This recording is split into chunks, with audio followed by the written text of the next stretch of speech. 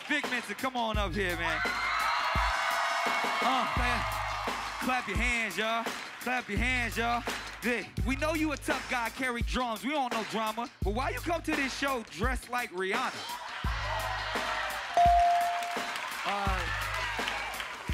Okay, you buried yourself. You should have brought your own shovel. Ever since Mariah found a nigga on her own level.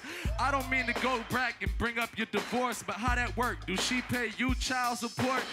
Now you think you styling. This is embarrassing. With that turban on, you look like a swagged out terrorist. And your man's over here fat. You should go vegan. You too underpaid to keep on overeating. Don't make sense. I need to keep it cool. Let me chill out before he go and shoot up a high school. I ain't really got time I'm saying. I'm not the man a legend, but you know I got to kill him. Your career is old. I thought Wu Tang was for the children. Consider this verse as a PSA. How the f you get them shoes through TSA? This is Black